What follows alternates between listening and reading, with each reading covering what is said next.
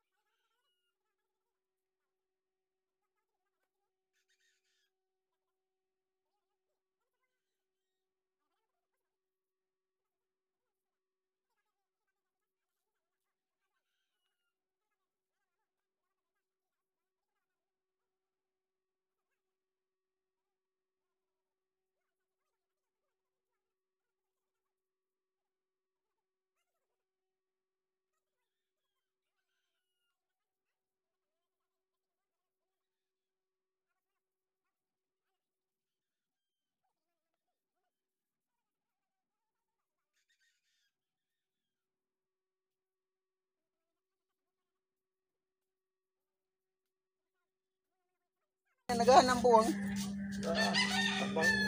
Sama dia.